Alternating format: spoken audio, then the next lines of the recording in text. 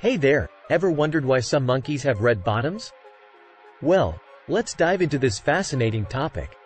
Picture this, you're at the zoo, and you spot a monkey with a bright red bottom. You might be thinking, wow, that's a bold fashion statement. But it's not about fashion, it's about biology. Only female monkeys experience this phenomenon. So yes, it's about sex. It indicates that they're fertile in their mating cycle. The most discussed species of monkeys with red bottoms are baboons.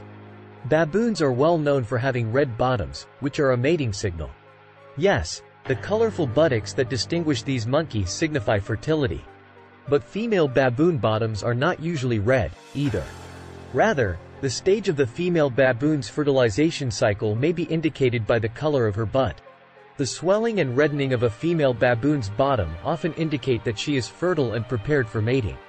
The baboon's bottoms get red and expand by 4 to 10 inches, approximately 10 to over 25 centimeters, highlighting their buttocks even more.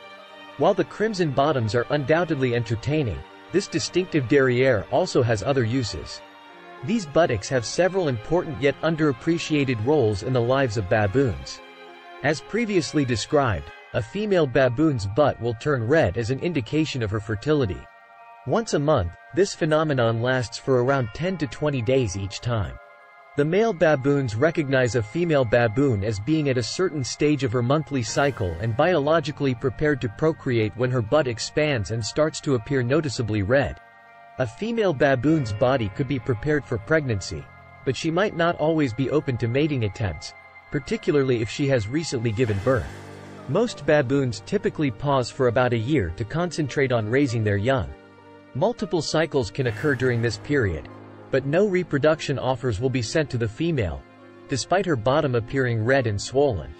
So next time you're at the zoo and you see a monkey with a red bottom, you'll know exactly what's going on. It's all part of nature's fascinating way of ensuring the survival of species.